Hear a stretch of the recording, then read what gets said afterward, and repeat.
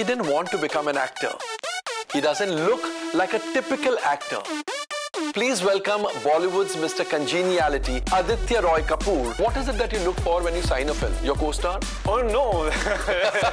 You're asking for different reasons. No, I'm not asking for any reasons. Your wicked, crooked mind is thinking otherwise.